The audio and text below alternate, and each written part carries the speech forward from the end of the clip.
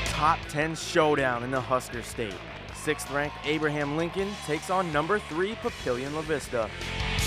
AL starts out hot on its first possession. Adam Barrett, nothing but net. Then Devin Logan banks in his only three points. Lynx jump out to a 17 8 lead after the first quarter. The home team comes out ready in the second quarter. Sophomore center Ed Chang stretching the floor, rains in the three.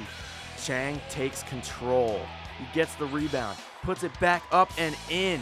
Number 22 finishes with a team high 19, but AL leads 26 23 at the half. The Monarchs come out of the break running.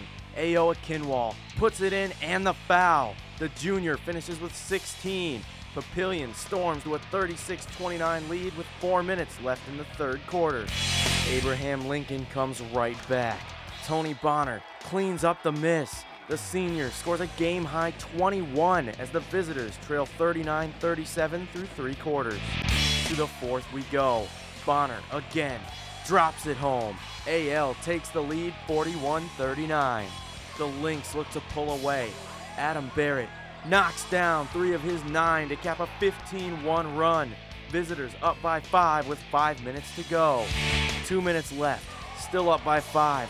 One more time for Barrett. He puts the nail in the coffin. Abraham Lincoln gets the 65 58 win.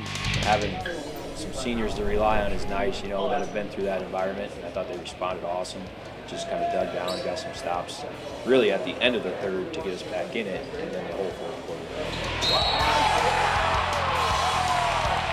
It's kind of a big game. Momentum hit me, and my teammate found me open for a shot, and I took it. The big out-of-state win moves Abraham Lincoln to 16 and 1 with just four games remaining in the regular season. For the Bluffs Sports Zone, I'm Dylan Hall.